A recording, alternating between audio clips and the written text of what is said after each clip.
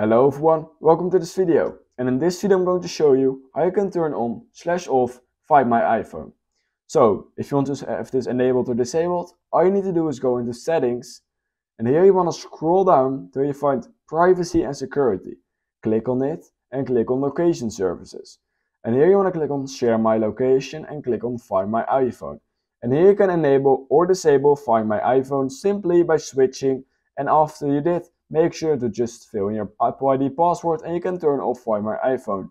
To turn it on again, all you need to do is click uh, the switch on again and type in your Apple ID again and Find My iPhone will be on again. And that's all you need to do. So if you learned something from this video, make sure to like and subscribe and that's basically it.